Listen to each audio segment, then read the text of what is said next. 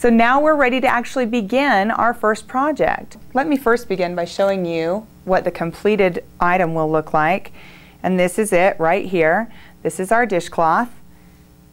You can see that it has a design around the edge.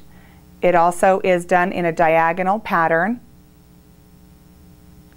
And the stitches that I'm going to show you next, they're very simple, but they'll give you this completed project. You can make this any size that you want. You can make it larger to make it as like a chamois kind of to drive your car at the car wash. You can do it this size. I like this size for um, doing dishes. Um, you can even do it a little bit smaller if you want something for kind of a scrubber. But the size, the instructions that I'm going to give you today are for the dishcloth size and your completed, your completed dishcloth should measure approximately 10 inches by 10 inches when it's complete. Okay, so let's get ready to begin again. We're going to start with that slip knot. We're going to wrap it around two fingers. Pull your fingers out bring it from behind, pull it through to make the loop, and pull. Go ahead and slide that onto your needle. The needles that I'm using today are size 7. You can actually see on the end of your needle up here, it'll tell you the size of the needle. Some of the needles have the information right here up near the top, and some of them have the information right here on the head.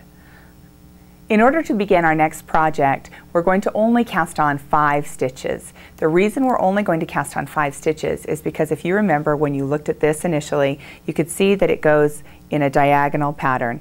We're going to start out down here with only just a few stitches on, and then we're going to increase until we get up to the entire width, and then we're going to decrease again to get to our final size. Okay, so we're ready to begin by casting on our first five stitches. So let's go ahead and begin by putting our fingers between the yarn, separating them, and then holding with our other fingers like this to cast on. First point at your thumb, wrap around, secure, point at your finger, wrap around, secure, pull it through the loop, release your thumb, and pull. Now remember, we're counting our slip knot as our first stitch. So now we have one, two stitches on our needle. We only need a total of five to begin. So again, point at your thumb, wrap around and secure, finger around secure, through, and pull. There's three, there's four, and five. Okay, now that you have five stitches on your needle, we're ready to begin. Bring in your second needle, wrap around your small finger, and we're going to do the garter stitch. And if you remember right on the garter stitch that means that we are going to knit every row. So there will be no purling in this project at all. So begin by coming in from the left hand side of the stitch from the front to the back pushing through wrap your yarn around from behind bring the yarn through and off your needle.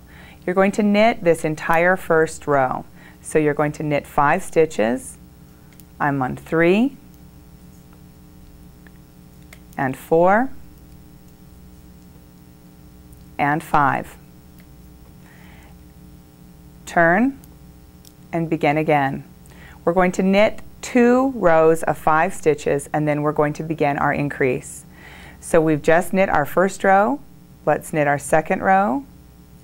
Again from the front, making sure that your yarn is behind because we're knitting, not purling. Go through the process again and do five stitches on this row. So front to back, around, through, and off. Okay? So once you finish these first two rows of garter stitch, that's knit every stitch, now we'll begin the part where the pattern will begin to show. Thanks for watching. Click on the next step or replay to watch another video and please rate, comment, and subscribe. You can also visit AmericanKnitter.com to purchase the knitting DVD set.